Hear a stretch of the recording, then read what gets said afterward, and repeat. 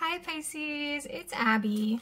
Thank you for watching my video. Welcome to my channel. This is Rogue Pisces Tarot, where all I do is Pisces-centered content. If you're interested in that, you know, take a look around, subscribe if you wish. You know, I love it when you do that.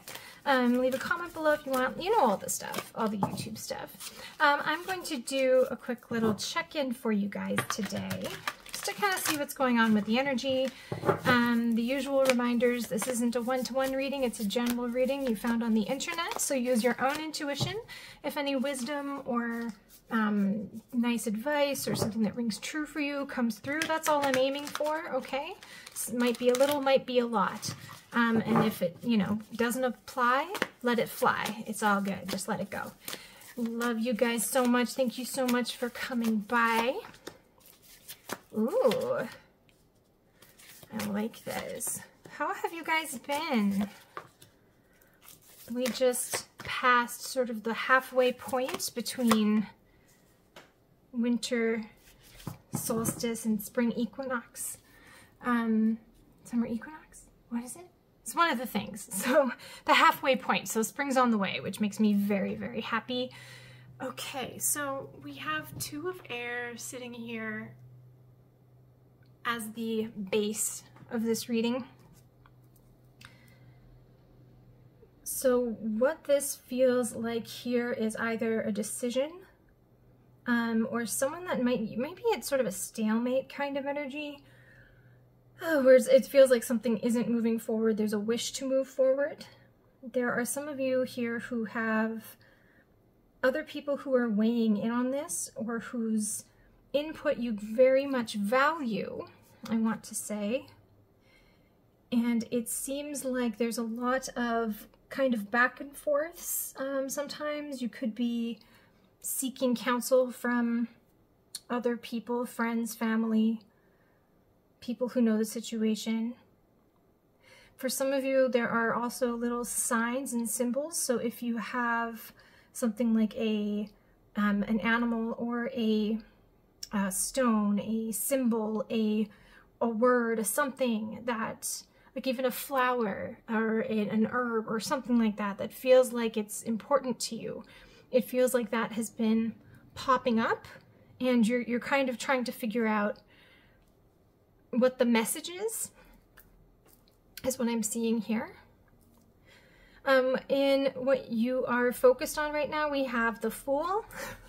Fool energy, so Aries energy. Some of you may have Aries energy in your chart, or there could be someone who is an Aries who is of importance right now. Um, this is giving me two things. Like the general message of the Fool is like the new beginnings, right? Starting off fresh, um, kind of tripping on into the into the into the newness of everything, into a new goal, wish, opportunity, stage of life, that kind of thing. Um, for some also, it can be talking about foolishness. So whether or not there is maybe a fear of foolishness, appearing foolish, being foolish, being scared to take a step, um, wanting a new beginning maybe, but, but like holding off because there could be a sense of, oh shoot, like what if I don't do the exact right thing, right? This sort of influence here as I'm seeing it. And under that is the Hermit. This deck is so pretty. Oh my goodness. Okay.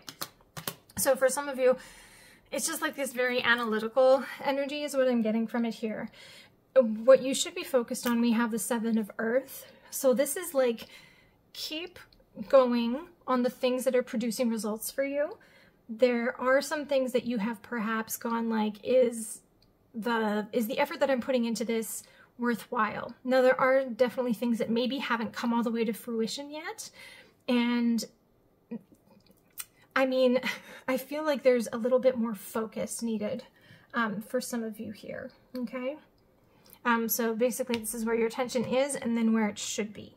So it's more about the harvest, the things that you have grown before that have worked out, whether this is in love or relationships of any kind, or if it's in work or your dreams, like whatever that happens to be. Okay. What your obstacle is right now, we have the Nine of Water. which is really interesting because your your obstacle and your biggest strength is what these two cards on this side are representing. So your biggest obstacle right now, we have the Nine of Water, which is interesting because that is usually a card that is talking about our wishes come true, right? Our the things that we want coming to us, feeling very satisfied, feeling very emotionally full and abundant. Um, for some of you, this can also be a card for me sometimes of um, overindulgence of the senses to manage our emotions, okay? Um, because often cups represent water, right, in the tarot, or water represents emotions. And there are a lot of them, and this is always, almost always a card that shows one figure by themselves with all of these cups. In this case, is one person. They have all these beautiful apples around them.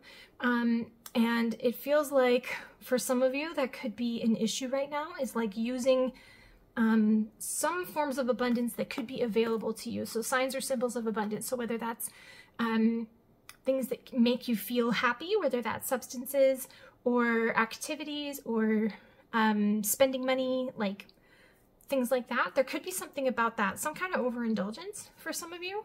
For others, it could very well be that it's really hard for you to wish big right now. It's really hard um, to see things as being possible and it, it feels almost like silly like you're, you're having this um, even though this fool energy is here and perhaps there's this very delightful sort of impish energy in there that's like you might be trying to push it down a little bit and be like really practical about it. Be like no no no no no. We're not we're not going to get that carried away with things. It's quite a bit going on here. So if there's a particular person that you're about or that you're wondering about or that you're emotionally attached to um, for some of you, it could be that you are really, really wishing on that specific person and then maybe having some trouble seeing love as a possibility. Maybe that that thing isn't working out. So then it's like, oh, your wishes for love or romance in your life could feel very silly because maybe they could be focused in a certain direction or they could be focused in a way that is bringing you perhaps um, psychological pleasure, right? By fantasizing or um, yeah, that's what it, that's, that's where it stopped. It was like, no, that's it. So for some of you, that's the message. It's like if you're finding yourself in la la land after a specific person, rather than love itself, that could be an issue for some of you. Okay, if it doesn't apply, let it fly, right? Of course. Um, that just might not be your message, but it might apply to someone out there. The your biggest strength right now, we have the Nine of Earth which interesting, right? Nines on nines. So this feels like there are perhaps emotional cycles that you have yet to completely close with that nine of water, right? The 10 is where we have a completion and it's like you're very nearing it. Um, and then in your strengths, we have the nine of earth. So this is someone who is very, very good at being independent someone who's good at being on their own. Not necessarily, doesn't mean you need to want to be on your own. It doesn't mean that you might not want interesting partnerships or friendships to find your like soul tribe, all of that kind of stuff. But this is letting you know that you do have a, a, a very grounded and good quality about you. If you were to to really kind of sit hard in that belief and not in a way that's necessarily um, rooted in ego or oh i don't need anybody you know i don't need anybody or anything because i'm good. The world is nonsense blah blah blah blah blah. Um because this is a person alone by themselves but they are being aided by something larger than themselves if you can see this gorgeous fox who's underneath them. So it this has this sense like i feel like sometimes we get we lose sight of the fact that even though we can say like I could stay here in my house and never leave it and I could um, still manage to access food and water and all of the things right but there's there are people who make the water come out of the tap right there are people who grow the food that I need to eat um, there are people who, you know, pr provide perhaps products, even if say you're a homesteader, maybe you're completely, you're like, you want to be off grid and just be away from people entirely. There are still people you might need to get lumber from. There's still people you might need to get products, a water pump, like whatever it is. So it's like we are much more connected um, than we may seem. And your independence can be a wonderful strength for you if you acknowledge that it's also a part of something bigger. There's a lot of confidence here too. So it feels like there's been some some achievements in the real world that you have won.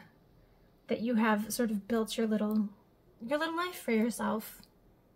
And it's really nice. In your advice, we have the King of Fire. Gorgeous, gorgeous card. So this, to me, um, it, Aries, Leo, Sag, fiery energy, okay? But this speaks to me of charisma, also of sort of in a daring way, wishing to tackle the things that could be frightening.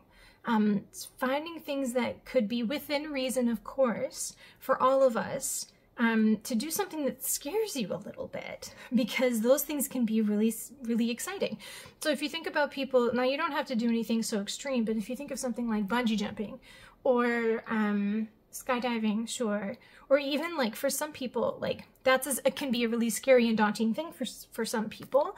Um, but part of the fear is the excitement. You know, part of the fear leads into this like, wow, what if I get through this and it's fine? and instead of looking at things as an obstacle that we need to conquer or get past it's it sort of becomes almost gamified right the what could the thrill be um, from taming whatever this is from working through it from learning how to handle this with some ease with some charisma charisma is the big one i get when i see this card it's very charming because i always get snake charmer um, which I don't always get when I see snakes. Snakes are also a sign of reinvention. So there could be some personal reinvention for you if you have especially been you've been kind of like struggling to make a decision or you're sitting there going well i don't really have enough information to really go which way i want to go and i don't really want to look stupid about it so i'm trying to think properly but then you might be numbing yourself right? It's that kind of thing. This is more like this this version of yourself, right, that you could be stepping into or finding yourself very attracted or playing with the idea of stepping into, where maybe you take some more calculated risks, some safe risks. Um, it feels like that could be just a new side of you that could be super helpful in, in getting you to ach achieve your goals. I really like that.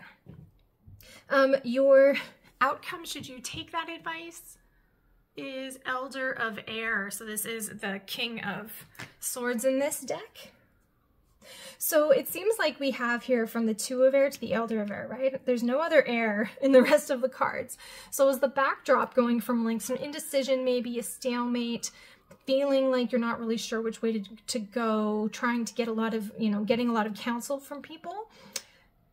You come to a place of mastering that, of, of being able to be very exacting, um, always with the sirens, um, exacting and very specific in the way that you want to get things and achieving a level of success also, being someone that people look to for their logic and for their ability to make plans and execute them.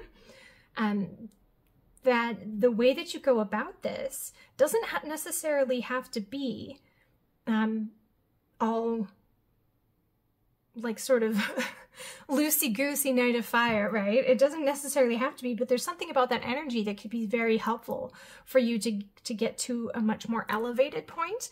Um, and also one where people, rather than you asking other people for counsel, you become the person that people go to. Uh, for some of you, that may have to do with, I wanted to say legal disputes as well. Could also be education in the legal system. If for some of you there's something like that that you're looking into, I don't know, like being a lawyer is pretty self-explanatory, but there could be things like paralegal or being involved in some sort of the justice system for some reason. This card is giving me that as well. Interesting. Okay, I'm going to give you one of the Shaman's Dream Oracles. Please. For my Pisces today, I hope there's something in here that has been helpful to you. Thank you for sticking around this far. What do we have? For my Pisces, something that will help them put this all together for themselves. Mmm. Okay, I like this. So we have 28 going into 10, hollow bone, and then also benefactor. So we have this grace, grace and generosity, which I really like. And then also hollow bone teachability. so there could very well be someone around you that is able to lend you a hand in some kind of way to be like your benefactor, right? To to to show you some grace and some generosity while you're making this sort of transition. Nine of Earth, this being your strength. This could be someone who's holding a position like that, who has a lot to give and navigates those things with a lot of grace. And they may not necessarily be someone where if you're like, oh, I want to start my own business, where they're going to give you like Maybe they will, maybe they won't. Maybe there's someone who could grant you a loan. Maybe there's someone who could tell you the process and tell you how they did something or put you in touch with someone that they know um, who has know-how on how to achieve what you want. Hollow bone also here. So there is, are some parts of some kind of ancestral wisdom or like this is is giving me sort of a a further thing here. So this feels like there's there are things that you are very, very good at absorbing. And some of them are related to your ancestry and your the line of your ancestors. Now that doesn't necessarily have to be only cultural, um, although there could be some of you where there could be something that you know culturally that is specific to your culture and that you um, are actually able to, to turn into something that is very beneficial to you in whatever this situation is but there's also a sense of like perhaps purpose from people that you have known. So perhaps by looking back at the things that you uh, know about people who came before you in your bloodline, or even just the cultures that they came from, that there are things back there that are inspiring to you in some kind of way. I feel like generally for others, there's also just the sense of being very good at being teachable, okay? Um, some of you could be going into teaching or want to teach others, right? This sense of like through this process that you're going through, that you're tapping into today when you find this reading, if this reading is resonating for you, you're making your way towards a sense of being elevated um, and very wise and someone that people go to. So that only happens when we're able to learn and we're open to learning. Okay, so to close out, I'm going to do a Rebel deck card just because I like to keep it a little bit light. This does have cursing. If that distresses you for some sort of reason, then feel free to click away now. Lots of love. I'll see you on the next one. Um, but for the rest of you, fall on the floor here. Oh, interesting. So this says don't talk to anyone, don't look at anyone. It says you need some fucking time alone and you know why. Interesting that feels to me like people that you may have been going to for specific counsel, the ones that are maybe your go-tos, maybe the ones that are the loudest, they may have been giving you more reason to pause and stall than someone else who might be more beneficial to you. And that doesn't have to be someone you know directly. Sometimes it can be media, a book you read by someone in particular, um, motivational stuff that you find that you're just like, yes, like that speaks to me better. And I need to just, I need to block out whatever these other people are saying because it makes sense, but it makes sense for them and for them from their perspective. And I need to do something different here with this Fool energy. Okay, guys, that's what I have for you today. I hope there was something in here that was helpful. If you liked the video, you know, subscribe, like. I love it when you do that. Um, but if this is where we part ways, I hope you find what you're looking for out there wherever you go. Um, take care of yourself, and I will see you on the next one. Bye now.